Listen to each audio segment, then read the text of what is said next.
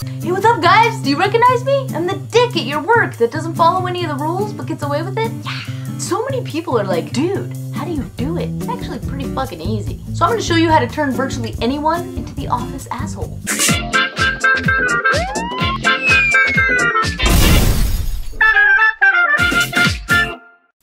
First things first, if you give a shit about anybody other than yourself, this probably isn't gonna work out for you. It's been scientifically proven that having a conscience directly affects your asshole ability. You can't let insignificant things like right and wrong get in your way. You're a dick. You gotta own that.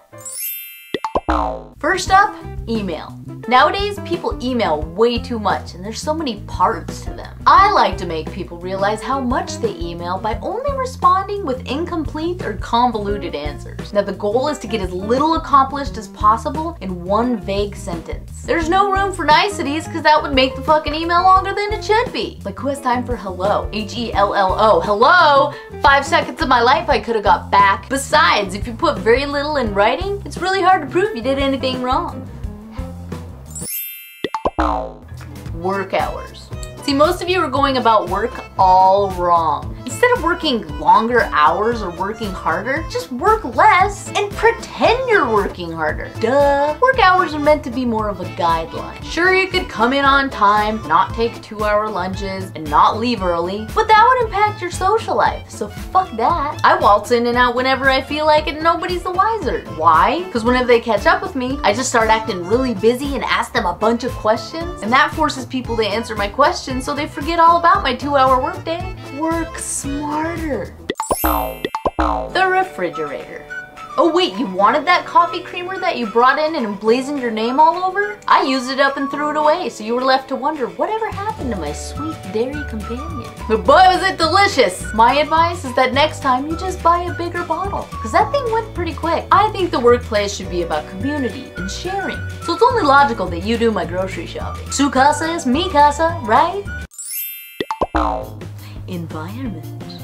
Speaking of food, I think I'm gonna go microwave my leftover fish in that kitchen with zero ventilation so my coworkers can spend the next seven hours gasping for fresh air. But there's actually a purpose to this. See, the smell distracts them from all the office supplies I'm walking away from their desk with.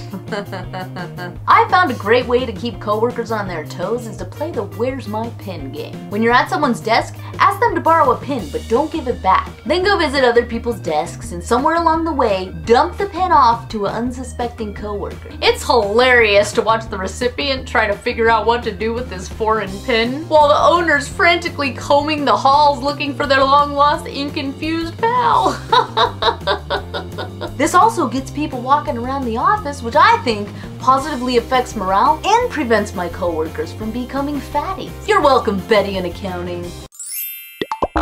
Miscellaneous. There are also a lot of little things you can do to help maintain a respectable asshole status, like blocking or stealing people's parking spaces. Dropping your snot rags in a conference room and not picking them up. Leave the copier set at 99 copies. Start browsing through your cell phone while someone's trying to have a conversation with you. Or move someone's chair to a conference room and don't put it back. But the most effective move of all time is to promise to meet an impossible deadline and dump the work onto somebody else. This just helps your coworkers realize how much they can do if they just their minds to it. It's inspiring. Sure, it caused their spouse to leave them and they nearly committed suicide, but they didn't. And they met the deadline. I consider that a success. I gotta go because this is the longest I've ever worked in my life, and I need to remedy this quickly with another schmarmy networking cocktail hour. This is what you do at one of those with the cocktails, and you schmooze, and you wiggle your fucking shoulders like a douchebag.